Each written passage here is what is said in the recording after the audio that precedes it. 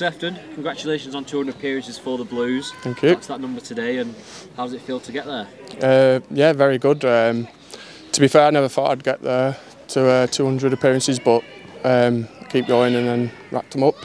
It's decent. So, today away at Mossley as well, got yourself a goal on the day. That's 95 for you now, closing on. Yeah. How does that feel? And how, yeah, how very, like very proud to also like getting 200 appearances and then to score on my uh, 200 appearance. Uh, very proud. Um, hopefully, I, my plan is to get 100 by the end of the season, but just keep plugging away.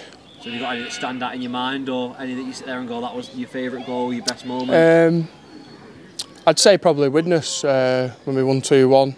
Uh, last minute, 90th minute uh, header, which was uh, really good for the uh, club and us. so where's your mind now going into Tuesday's game? Looking forward to it? Yeah, yeah. Um, just have to uh, not think about this too much and crack on to the next one, and um, hopefully get three points at home.